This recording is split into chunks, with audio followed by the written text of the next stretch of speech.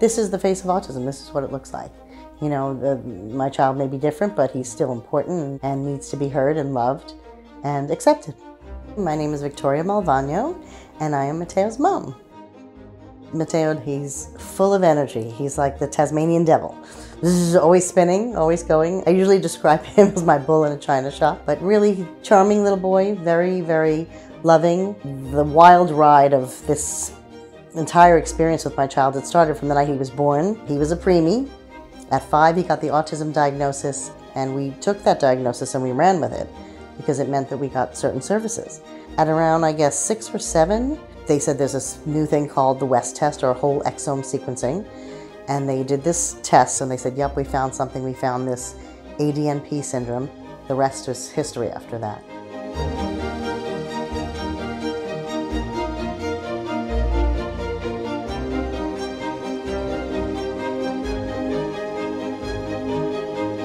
At the Seaver Autism Center, we've been studying ADNP syndrome for about five years.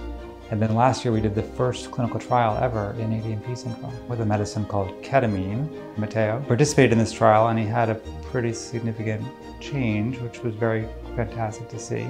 Doing that trial with ketamine changed my life as a mother for six days in ways that I will forever be chasing now.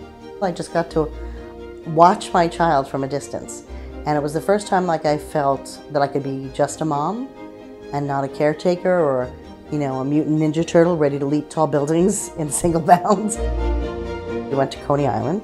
We walked onto the sand and this is something else that never happens. I said, Mateo, come sit next to mommy. He sat on the sand and he sat down next to me and we laid there for like 40 minutes. Unheard of for my child. So it was just, he was very, very calm and I just got to enjoy being a parent knowledge is power. And I think now with, with more and more genetic testing and more access to clinical trials, we hope that by developing specific treatments for kids with ADNP syndrome, we may find that there's a relevance for that particular treatment for kids with autism more broadly. The more you know, the better care you can receive.